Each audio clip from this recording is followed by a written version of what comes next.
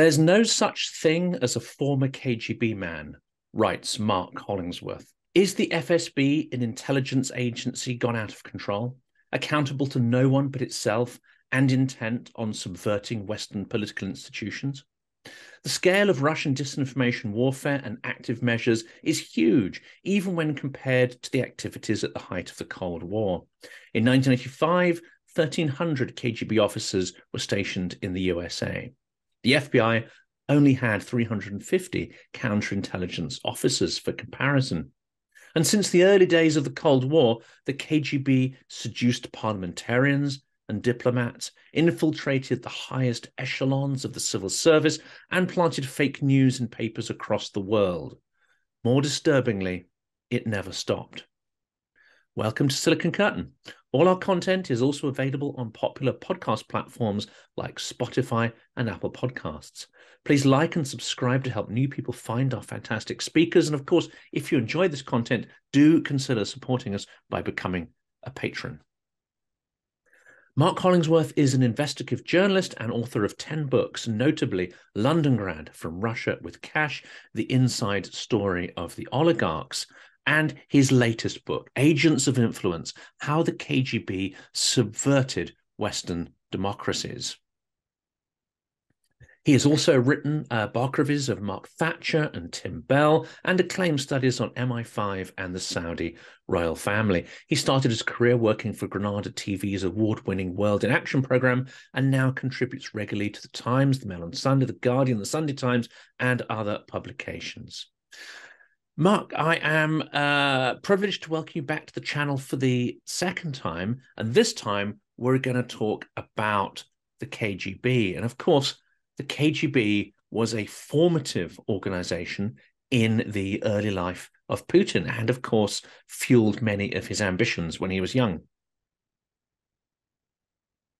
Uh, yes, indeed. I mean, I think uh, to understand what Putin is doing in Ukraine, you have to uh, examine and understand what, uh, Putin's formative years, uh, which were in, in, the KGB in the 1980s and you know he was stationed in St. Petersburg in the early 80s, and then he was moved to Dresden in East Germany, and he was physically present when the uh, Soviet Union collapsed and the wall the wall came down uh, between East and West Germany, and uh, it made a, a, lasting impression on him. You know, he was physically there when the phone calls from from Moscow came through, and he, uh, according to all the the accounts, uh, Putin said, "Well, where is the, where, where? When are you going to send in the help?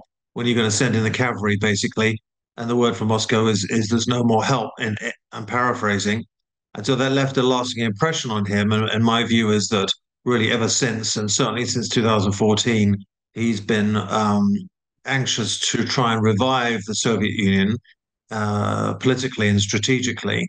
And um, uh, that's what we're seeing in Ukraine. He's basically revived the Cold War, Cold War, and he wants to restore the so, uh, Russia to its its former self.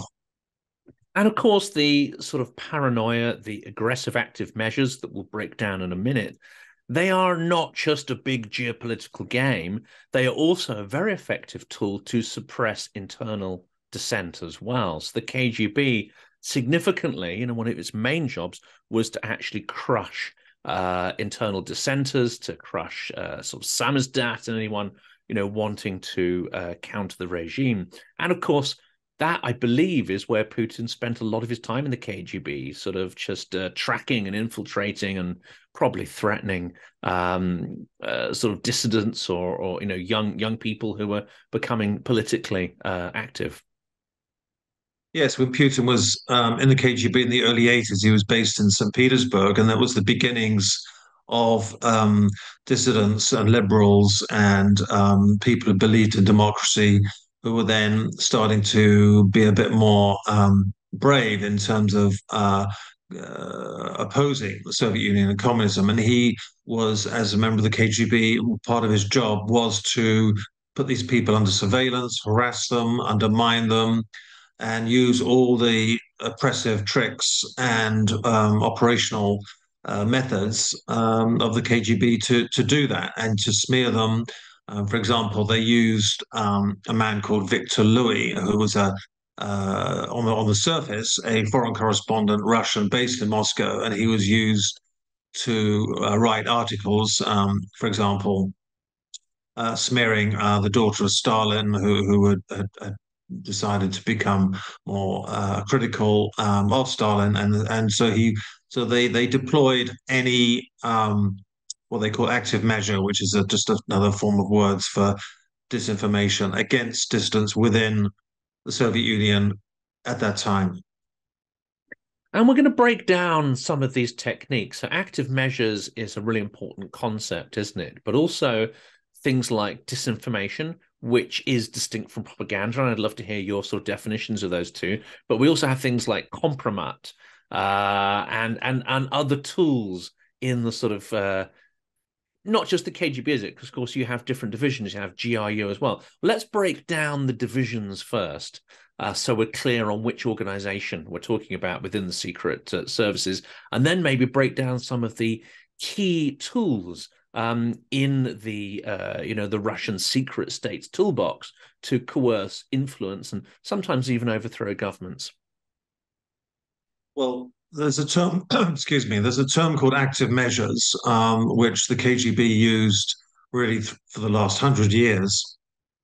You have to remember that after the 1917 Russian Revolution, uh, the Russian Secret Service was called the Cheka, and then it would change its name, then became the NKVD, and the KGB itself was only formally um, constituted in 1954, the height of the Cold War. But um, certainly during the Cold War, and to some extent before, but primarily during the Cold War, its role was um, to implement what they call active measures, which was basically means active operations to undermine, destabilize, disrupt, uh, damage uh, NATO and the West and any Western democracies. And so within that framework of active measures, you had a whole series of of operations and dirty tricks, primarily disinformation, a lot of forgery of documents, uh, recruiting uh, political agents within NATO and the West, uh, compromat, which is the Russian word for basically compromising information, which was done by largely um, honey trapping of both heterosexual and gay people to obtain compromising information. And then also uh, secretly funding front groups, secretly funding, uh, even tried to um, uh, fund American presidential candidates. And so there's a whole range of measures, which they call active measures. So it wasn't just, the KGB was not just about gathering intelligence. It wasn't just going into the US and, and, and NATO countries and the UK and trying to find out what was going on, trying to find out from the inside. It was an active operation against those countries, as opposed to what majority of, of security services do, or what they should do, is basically gather intelligence and find out what's really happening in the countries where they're based. And does this sort of interventionist style uh, of the uh, of the Russian operations where does that date to? Do we have to go back to the 1930s or do we go back further to the revolution itself? Or can you already see traces of this in the Tsarist secret police who were in some ways, uh, you know, it's it, it's believed that you know their agents and assets uh, were actually involved in, say, the 1905 revolution. Um, I mean, is this sort of this this uh, meddling in the actual processes uh, of society and politics? Um, has that always been a, a hallmark of the Russian secret state? Well, I think you can trace uh, the importance and the priority of the Russian secret police way back to Ivan the, the Terrible, Peter the Great, or, and the Tsars. Um, and they were u- they used the secret police in Russia mainly to suppress any dissent, because obviously it was an autocracy. The Tsars were believed in the divine right uh, to rule.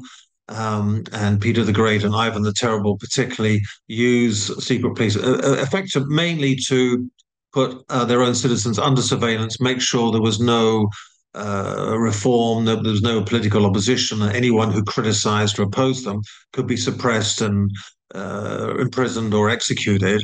So it was very much internally within Russia, and that really carried on through the 19th century um, with the czars, um, uh, who were just as autocratic as Putin is today. And it's no surprise that Putin's favorite czar, his favorite ruler, was not actually not Peter the Great or Ivan the Terrible, but was Tsar um, Alexander III, um, who in the 19th century. And so this tradition carried on. The, the, the role of the KGB in terms of active measures against the West really only changed after the um, 1917 revolution, when um, Lenin uh, believed that the only way that the Soviet Union could survive was to try and undermine its enemies in the West. So he implemented active measures, and although the Cheka at that time uh, was obviously a very oppressive uh, agency that, that did hor- horrific things to its own people, and you had the show trials, there was the, the origins of um, active measures, uh, particularly disinformation. And I found a quote by Lenin um, when he said in, in 1921, he wrote a memo to one of his commissars. He said, To tell the truth is a largely bourgeois concept, and we have to use all the um, measures at our disposal to um, uh, promote the revolution, but also undermine uh, its enemies in the West. So that was a real sea change, really, from the 1920s onwards um, that the Russian intelligence agencies were not just um, an agency of repression within its own country, but looked out um, into the West to try and uh, damage and destabilize uh, Western countries. And to an extent, uh, you could almost say that that they had a mission, um, and that mission was to propagate uh, you know, the sort of Bolshevik conception of how society should be run. So there was an ideological underpinning to some of this activity. So even if you know it's it's not that apparent, and even if it's you know imbued with all sorts of lies and subterfuge, the Soviet Union was proselytizing a, a, a certain um, way of living. Now, Putin's regime does not seem to have a philosophy uh, that's akin to that, and yet we still see the same paranoid hostility and aggression. I mean, what's your impression there? Is there any kind of tangible ideas behind it, or is it simply power and coercion for its own sake? I think um, during the you're quite right. During the Cold War, um, the KGB acted, um, uh, you know, was ideological in the sense that their mission was to destroy capitalism, promote socialism and communism, and to try and uh, destabilize and weaken and in in effect in, the in the long term they thought they might even abolish uh, capitalist societies in the west by these measures by these active measures. And so they that was their motivation and i think many kgb officers believed in that. They believed that communism was the true uh, ideology the best way for society to be structured. And the kgb reported to the Communist Party as well. This is a big difference from today, is that they're the, the only form of accountability. I mean, there was in reality they didn't have any real accountability. They were al- allowed to do anything: assassinate, smear, honey trap, uh, forge documents. But th- there was a certain amount of bureaucratic accountability, and they did only report to the Communist Party in Moscow, not to the Kremlin or the Politburo. The, ultimately, they did, but that was the that was the chain of command, the form of accountability under Putin. Um, obviously, the Communist Party doesn't exist. There's don't there's not that same ideological um, motive. Although the, I think he does have a kind of ideology in the sense that of I suppose what you would call authoritarian nationalism. You know, he even Putin accepts that that economic model for communism didn't work and could not could not be sustained. Hence the end of the Cold War. But Putin has a certain uh, what you would call it, I would call it authoritarian nationalism combined with um, an adherence to the Orthodox Church. It's a sort of strange combination. Um, but uh, so the current Russian intelligence agency, the FSB, they report but they don't report to any political party. They report really to the Kremlin and Putin, and they're they're used really much as a sort of agency of enforcement, like a private army for Putin.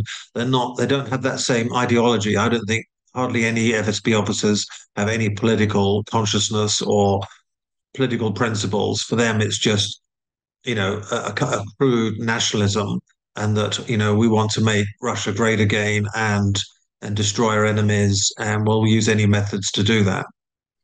And you raised the question there of orthodoxy.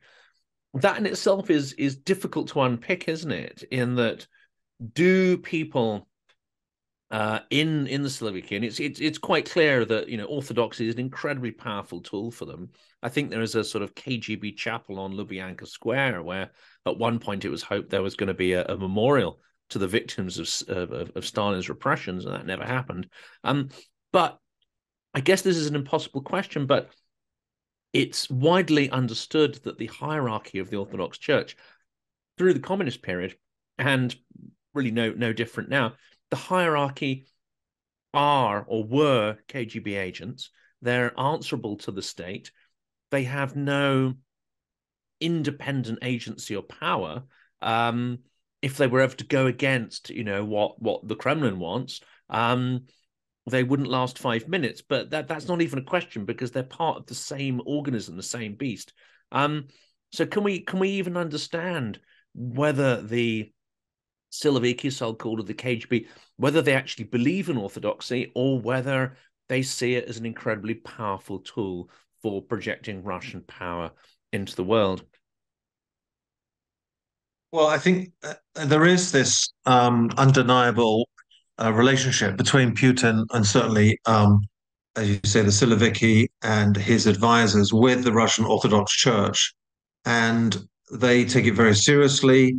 And I've never quite understood it politically why the Russian Orthodox Church would support someone like Putin in terms of his obviously repression and why Putin uh, feels that uh, the Russian Orthodox Church is so important for his political identity. Um, and I suppose he may think that if he can, he can, secure the support of the Orthodox Church, it gives him a certain uh, moral um, entitlement or um, justification.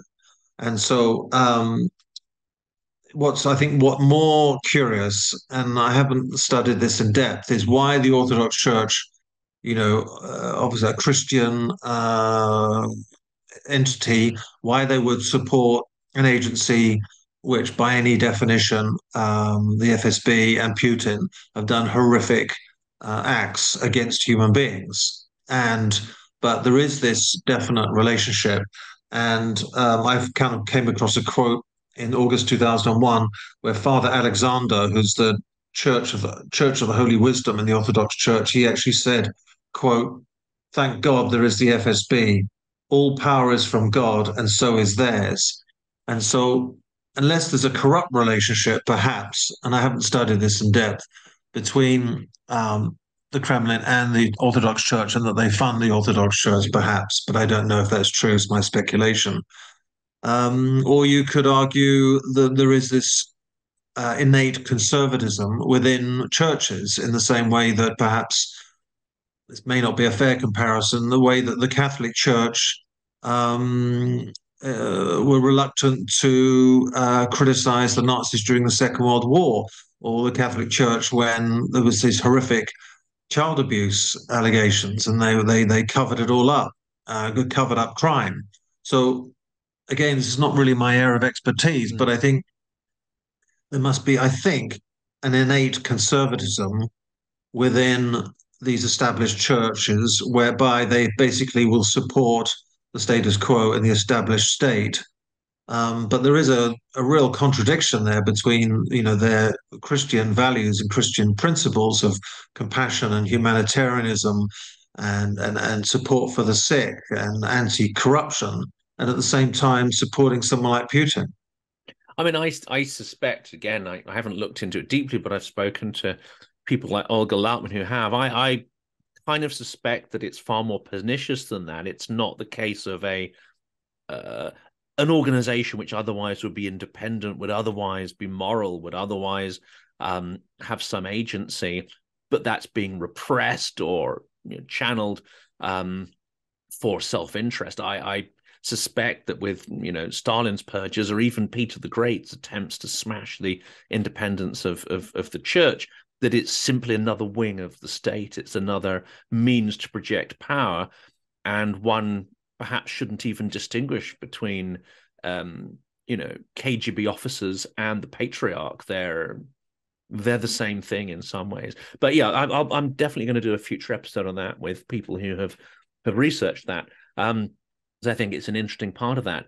But if we now turn to Ukraine, um, you say, uh, I think rightly, that uh, the sort of paranoia and the the history of the KGB, uh, FSB, as it, as it morphed into, uh, is an important part of why the Ukraine war is happening but also it's a tool that's used in that invasion itself, isn't it? They play a key role in uh, threatening the uh, mobilized troops and in um, you know the torture cells that we've seen um, in terms of also uh, fomenting the so-called uprising in the uh, DNR, um, you know, uh, Donetsk People's Republic, Luhansk People's Republic.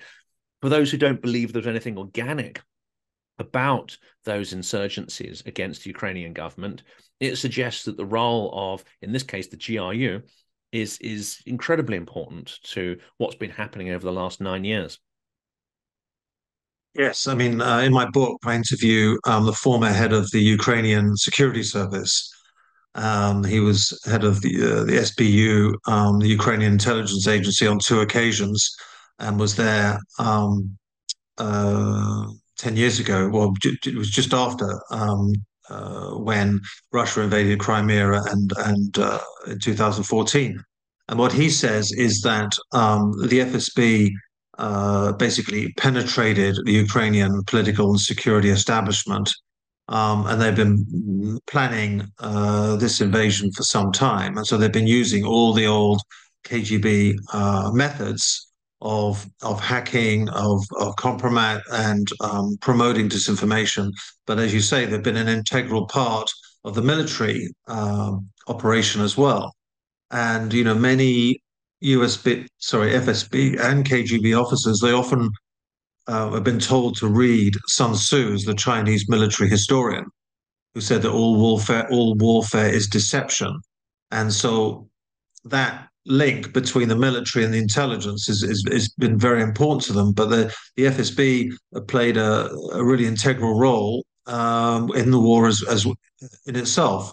Um, but all the operations that they've been using in terms of disinf- disinformation, which is actually very important because if you want to secure the loyalty of your troops on the ground, and you also want to secure the loyalty of your of the people back home in Russia, and you also want to confuse um, the enemy. That's where disinformation, deception is so important, and that's what they've been doing. Um, and so they're really using the same KGB playbook. The only difference is the technology, and that the technology at their disposal is quite frightening and um, uh, remarkable and more pervasive and um, widespread. And and also because it's no longer anchored to a particular ideology, which puts some limits on the sort of disinformation and the object of that disinformation. Now we've seen, of course, and it may well be that they always did this, and, and, and do correct me if that's the case. Um, but now they can support the far right, they can support the far left, they can support every single extreme oppositionist um, grouping they might find in in any given society. And that's not to say that those people's opinions, you know, are not important or that there aren't valid points being made across the political spectrum. But the Russian um, active measures tries to target anything that it thinks could weaken or drive a wedge in a society or destabilize it. Um, and it's it's obviously a perversion and a distortion of what would otherwise be a fairly organic uh, process that uh, that democracies require to function. Yes, I mean you're quite right. They have no moral or ideological uh, mission there. Their, their, their, their sole aim in Ukraine or anywhere in the West, really, is to foment um, chaos and tension and instability. And it doesn't matter if they are promoting a far right or far left or anarchic or liberal, um, uh, you know, to, to promote promote those forces if they think they can um, create a sense of chaos. And their main task is to um, uh, promote division within those societies. So they might promote, you know, a far right and the far left at the same time. And certainly during the Cold War, um, they forged a lot of documents. When I did the, the research, when I did the research for my book, I was very quite surprised at the, the, the sheer volume of documents um, that the KGB forged, and there wasn't enough space in the book. So I, I for all of them, so I put them in a in an appendix at the end of the book. But you know, there was no, they didn't really care um, which side they would support or oppose. It was just creating chaos and, and disruption to the regimes of the West. And also, that helps in their mind to um, uh, create the impression that democracy is unstable, that uh, democracy is a sort of frightening and often inefficient way of governing. And that narrative can then also, it's not just to destabilize opponents, it's also a narrative they can play back to their own people. And this is something we saw very visibly on show uh, during Maidan and the Orange Revolution. Now, these are processes which I think we would agree with with most Ukrainians that have made Ukrainian society healthier, that have given the tools to start to tackle corruption, start to change and evolve their societies. And um, I was listening to to Paul Mason last night, who travelled to Ukraine twice with a ten year gap um, either side of that visit, and he said the changes were phenomenal. Um, you know, the evolution and the progress in society. Not perfect, a lot, a long way to go, but the evolution was absolutely tremendous. So we see these sort of changes, political upheavals, as in aggregate being positive. But the way that is then sold back to the Russian people is that uh, you know, this political evolutionary process. It's destabilizing. Uh, you know, it's it's corrupt. It'll destroy the economy. It blah blah blah. And actually, that works incredibly well with with most Russians, it seems.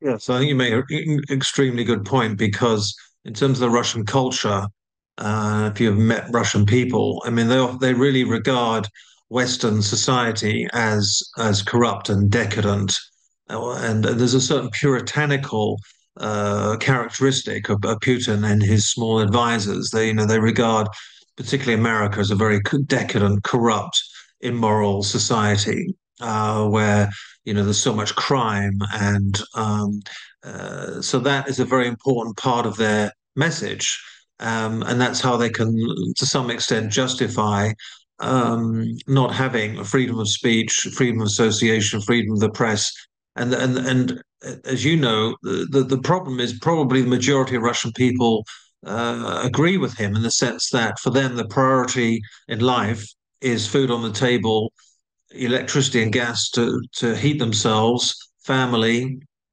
efficiency, security, and so elections, democracies, um, freedom of speech, freedom you know freedom of people to uh, publish or oppose are uh, basically a luxury and and and but also uh, they I think they argue that it's a kind of source of, of chaos and they point to the political systems particularly in places like Israel or Italy um, where you have uh, or Ireland even where you have multiple elections and they'll say well look at you know you you you believe in democracy. Look at look at these countries uh, where there is so-called democracy and there's just and you know chaos with coalition governments, and you've got regimes where the left and the right are cooperating, um, and they regard it as as a sort of sign of weakness. And then, obviously, in America, they'll point to January the sixth and what happened there. So, for Russian people, they can somehow justify the lack of democracy in Russia by pointing at the West and saying, "Well, look, this is what happens when you have democracy." And it's incredibly effective, isn't it? Because uh, it does seem to trickle down to people, um, even when the neighboring country, Ukraine, um, is quite clearly making you know significant social political progress from those changes. That partly helps to explain as well why the Russian approach to Ukraine is not just hostility, but it also has a really kind of unpleasant, prejudicial, sort of almost genocidal uh, edge to it.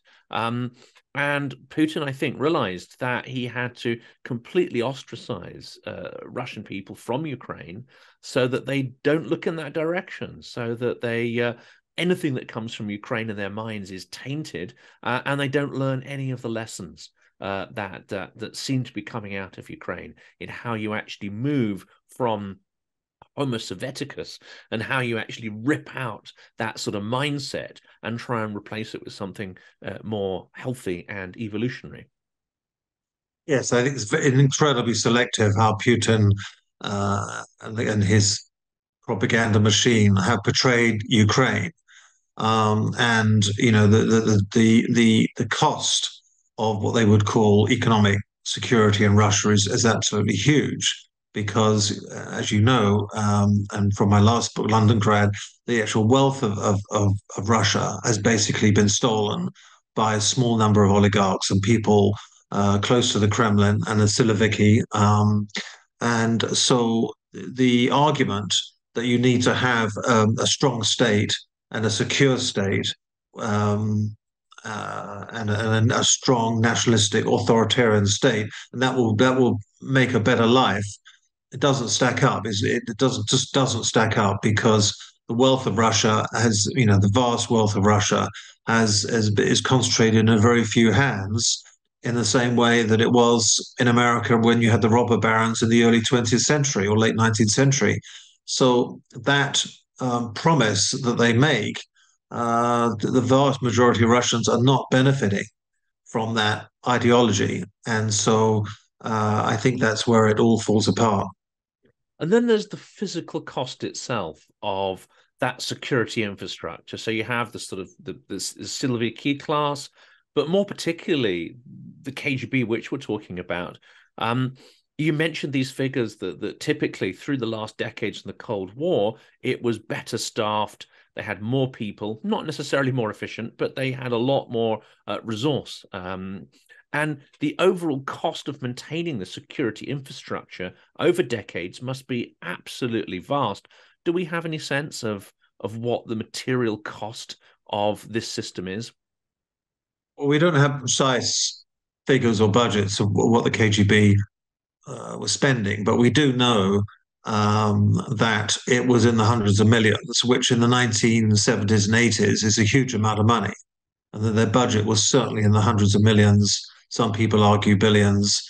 Um, the CIA and MI6 certainly did a certain amount of research uh, into that into this, but they certainly it was certainly true and demonstrably true that they had more agents and KGB officers, certainly in the United States, uh, and and actually in the in the UK in the late 1960s, there were far more KGB officers on the streets of London than there were MI5 officers, and they were overrunning British intelligence in the late 60s or throughout the 1960s to such an extent it got so bad that in 1971 um, the Conservative government under Edward Heath made this historic decision to expel 105 KGB spies from London because they were basically over almost overrunning the city, abusing their diplomatic privileges.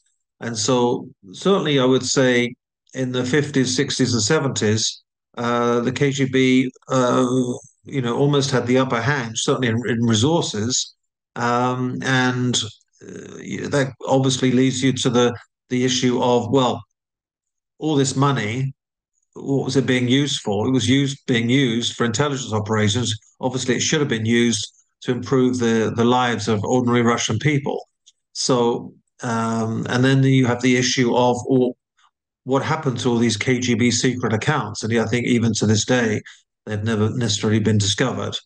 And so I think it's a very it's a it's a an area um, that, that that is still uh, secret even today. And you know they basically thought that it was more important to overthrow the West in terms of the amount of money and and and manpower they were using, rather than to feed their own people. And so that only really changed in in the 80s when um, the Russian the Soviet economy started to uh, fall apart. And the scale of this penetration of the West is huge. And of course, it follows on from the 1930s and 40s, the Cambridge spy ring, and the sort of really deep penetration of, of British uh, security establishment. Do we have a sense of what all of these people were doing, the kinds of operations they were engaged in? You talked about honey traps, trying to compromise diplomats and so on. I'm sure, you know, not everything has come to light, but do we know enough to sort of understand what some of those operations looked like and against whom they were targeted? Well, the, KGB were trying. Were, their strategy was twofold. Number one was to try and find, uh, certainly in the UK, government secrets, so documents, any any secret got uh, British government documents, particularly to do with defence or security, and to uh, obtain those documents, which is largely by uh, recruiting agents. And uh, as you say, in the 1930s, they recruited Philbis, Philby, Burgess, Maclean, and Cairncross. Um, they had less success after the Second World War, but they did have agents. So that was a, I mean, they would try and recruit MPs. And to some extent, they were successful. Certainly, some Labour MPs were arguably agents of influence. Doesn't necessarily mean they were spies, but they were trying to be, they were certainly helpful to the KGB. But they were quite active in London, um, really throughout the Cold War, trying to recruit, for example, secretaries to MPs who were prominent in, in the House of Commons on foreign policy. Uh, they would focus on um, junior officials to try and get secrets and documents. So that was uh, certainly a priority for the KGB in the UK. Secondly, was to basically smear, denigrate, destroy the lives of any critics, particularly MPs. And there's a whole chapter in my book uh, about a Conservative MP um, called um, Anthony Courtney, who was an MP uh, who was very anti-Soviet, uh, anti-communist, and uh, he was very vocal about um, attacking uh, the KGB officers' activities in London in the 1950s and 60s. And but he also, while he was an MP, also had a consultancy business going to Russia, and uh, he had a, like a he advised Western companies to how they were going to do business in Russia. And even though he was quite right wing, hated communism, hated the Soviet Union, but was pro Russia, and he spoke Russian. And so, but he was very vocal and public about attacking um, the Soviet Union. So they, but he also, his weakness was women. And so when he went to Moscow, he would have flings and affairs with Russian women. He was obviously married. And eventually they got, the KGB decided to go for him. So they honey trapped him with a, a young lady who worked for Intourist Agency, which is um, a tourist agency based in Moscow, which helps and advises foreign visitors with cars and travel and, and, and, and, and you know how to get about around Moscow. But it was completely penetrated by the KGB. So this run, MP, run by the KGB. Courtney, in fact, my my uh, wife worked for a while in the nineties for it, and all of the mm. senior staff weren't just informers; they were they were actual, you know, low level agents. Right, exactly. I mean, it was it was a basically a KGB front, and so this MP um, was seduced by this young lady who worked as an employee of Intourist, and uh, classic honey trap. They took the photographs, had the documents, and then they the KGB filed them away and waited for the right moment politically to then release this material. So they put it in a file and sent the photographs and a sort of broadsheet um, to uh, MPs, the Prime Minister was then Harold Wilson at the time, this is the mid 1960s, um, and to his political opponents, uh, News the World, you know, any anyone who could make use of it. And it's a long, detailed story, which is which is a whole chapter in the book. But eventually, what happened was um, the KGB succeeded. He had a safe seat in Harrow in North London. Um, uh, he stood, but um, he lost the seat and he lost his marriage. And it was a very classic example of how the KGB operated um, against a political opponent. And this is one of the things they did. And then in the 70s and, and actually the 80s, the tide started to turn a little bit, didn't it? And there were some notable victories against the KGB. Um, uh, not necessarily, you know, any operation that we'd run, but it was people becoming disenchanted with the with the system there. And we had Mitrokhin, who was uh, extricated with a vast archive of KGB documents, which were invaluable to try and understand the inner workings of the organization. And then people like Gordievsky, quite sort of senior agents who were able to give us a lot of understanding about the inner sort of workings and even the politics and rivalries that uh, went on inside there. Um, I'd, I'd, love to hear your sort of views on on some of the victories on our side and our attempts to understand how the Russian secret state functions. So by the early early 1980s, um, there was more and more disillusionment. GB, um, they were not having any real success. They weren't recruiting new agents in the West. They didn't seem to be making any progress. And so um, there were more defections. And as you mentioned, um, Mitrokhin, who was a KGB archivist, and he defected and took with him thousands and thousands of documents. He didn't actually take with him actual documents, but he every night he wrote down notes summarizing all these documents or transcribing them basically. It was a huge archive which really revealed what the KGB had been up to. And then in the mid 80s, uh, KGB, a very senior KGB officer called Oleg, Gordievsky defected to the UK, and he brought with him a whole real insight into um, KGB operations. It was a very damaging uh, series of defections. And what it showed was that by the early 1980s, um, the preconceived conspiracy theories of the Soviet Union and the KGB against the West was just not holding up. In the fact that the, the, the prediction of the inevitability of the demise of Soviet Union was going to was going to happen, it never happened. And then they had in the early 80s, they had this conspiracy theory called Operation Ryan, which was an active measure, which they they basically believed that the US and the UK were going to launch nuclear war in the early 1980s. They were going to destroy the world. They were going to launch nuclear weapons against um, the Soviet Union and, and destroy the, um, uh, its people. excuse me.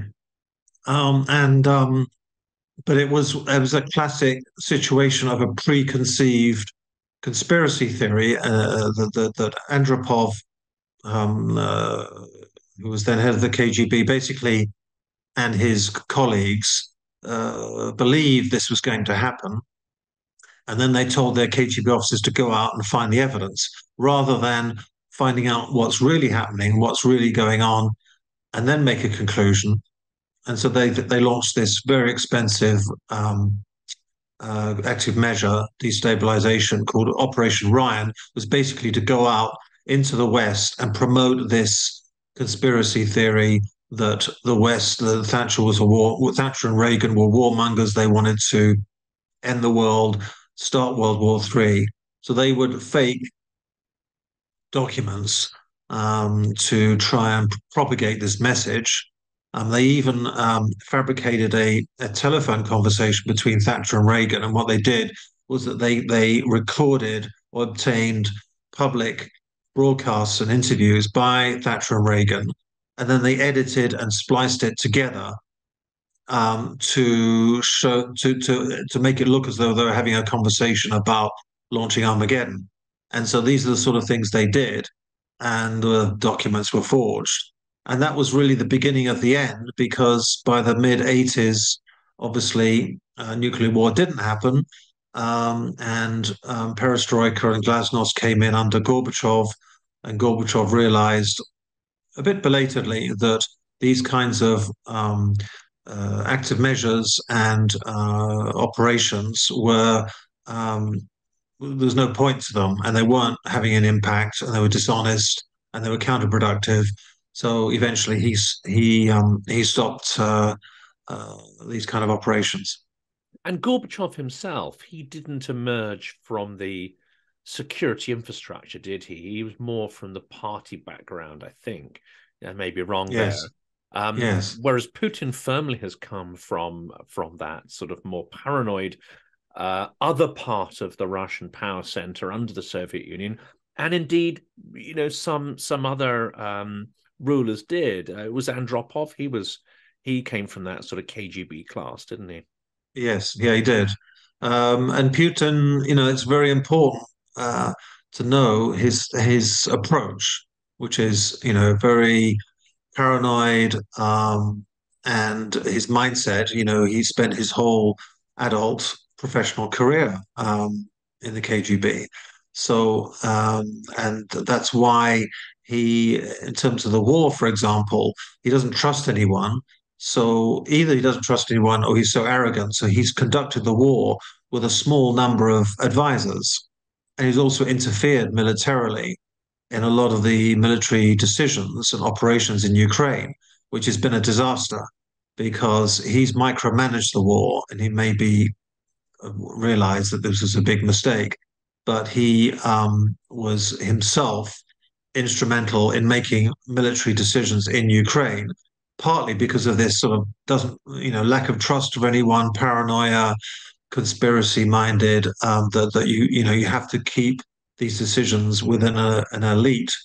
And so uh, this is his big mistake. And if you compare Putin to Stalin, Stalin during the Second World War, although obviously he was a brutal dictator and very autocratic in every way, like Putin, but Stalin ultimately listened to his generals. And that's why uh, in the Second World War, Stalin was much more successful, obviously with with at huge cost, but with the siege of Stalingrad, Whereas that's the difference. And I think with Putin, you know, he really, I mean, he, one of his famous quotes that he thinks that spies can can have more of an impact than politicians. Intelligence operations are more important, and um, that's that's his whole mindset, and that's really, uh, in some ways, the cause of the crisis in Ukraine at the moment. Is that um, Putin is thinking like an intelligence officer rather than overseeing a, a professional military operation. And perhaps he's also thinking like a junior intelligence officer, because by all accounts, he wasn't that senior. He wasn't a key strategic person within uh, within the KGB. He was a pretty low level and fairly mediocre operative. I think that opinion has been expressed a number of times. And I think the difference there, isn't it, that Putin may understand that you can do something and so he does it. Whereas someone more strategic will understand, well, you can do something, but should you? And it seems that Putin doesn't doesn't have that sort of check. Should we really be following everything to its logical conclusion? Um, and it's been said that he doesn't have a de-escalation uh, sort of mindset that he will always try to escalate a situation, always push back uh, on the assumption that the enemy will be weaker than he is, and eventually they will not last the course and they will not use equivalent strength that he's prepared to do. Whereas perhaps someone more strategic and higher up in the secret services will say, well, okay, may- maybe there should be a point at which we stop and change tack. I don't know if you're had any thoughts there about um, you know you know his, his seniority or his mindset and how that might come from him not necessarily being the sort of you know the the best of the KGB, and I don't mean best in a moral sense. I mean uh, you know not not the brains of the outfit. Yes, I mean you're you're right in that um, Putin was a relatively junior KGB officer, middle ranking. Um, I don't think he spent that much time in the field in terms of operations or recruiting agents. Office bound, very bureaucratic uh, role in throughout the 1980s as an intelligence officer. And I think what we're seeing, what's emerging now, is that actually he's rather an in- insecure uh, little man who, um, like a lot of insecure people, uh, they feel the need to project themselves and be tough and, and authoritarian and, and dictatorial. And so, and at, at the same time, uh, micromanage everything. So it's, it's a form, it's it's a source of their basic insecurity because they were never in charge of any, you know, he never was until he became head of the FSB in the late 90s. Um, you know, he never had that responsibility or seniority or experience. So I think that's his problem, really, and that uh, that sense of insecurity is is, is why he's uh, gone into all this sort of minute details, as, as from what we understand, is that he gets involved in in in, in the kind of day to day operations of the Ukraine war, which is ridiculous. Because one, he doesn't have the military experience, and two, it's it it it uh, confuses his own military generals, and and it just it, it impedes their their operations. I mean, you got this ex KGB officer and politician trying to um, run, uh, you know, a risky, dangerous war, and I think it stems from I think it stems from his own insecurities and, and, and lack of experience. And talking about Mitrokhin and these other sort of leaks in the in the 80s and the 90s, um, and there's there's some other extraordinary ones who went on to write books and do lectures who talked about the mechanics of active measures. I'll, I'll put some links into the video. We know a certain amount about how the KGB was run uh, up until the early 2000s. Do we know that much about how the FSB is structured and run? Do we know anything about its methodologies, its training, the culture within that clique? uh, and the sort of aspirations, if any, it might have. What what do we know and what do we not know about the FSB? Well, we know that the FSB, I think we know a lot less. I mean, there have actually been relatively few defections from the FSB. I think there was uh, during the war recently, there was one, I think, uh, former Russian intelligence officer who has defected, but there hasn't been, as far as I can tell, and it's not really my area of expertise. There's a very good book uh, called The New Nobility, which is a more up to date uh, book about uh, the FSB. Um, and that I, my my understanding is the FSB is is become much more of a uh, tool. I mean, a, a, an agency of repression of almost going back to the old days, even before the Cold War, of like a private army for Putin, um, and a, um, an agency of repression. Obviously, they've kept up um, all the old uh, operations of disinformation to, during 2016. Clearly, um, there was a huge effort to disrupt the US election um, using hacking and fake social media accounts. And they had this um, agency called the Internet Research Agency, I think it was called. Mm. so I think there, there's a, there's there's actually, in terms of discipline, the FSB have been quite effective in in not having defectors. Um, and uh, I think what the, the disclosures have been more about the GRU. When you look at the Skripal uh, attempted assassination, you know that was a GRU operation, not FSB. And with Litvinenko, well, I'm, maybe I'm sure FSB were involved, but again, that seemed to be done by freelancers. So um, I think there's a huge amount that we don't know about the FSB. Um, and so I think that's the one positive thing they could claim that they've not had, as far as I know, and I'm, it's not really my area of expertise. I can't think, maybe I'm I can be mistaken. There hasn't been, you know, the equivalent of Mitrokhin or Gordievsky uh, within the FSB who's gone to the West. I mean, maybe they have.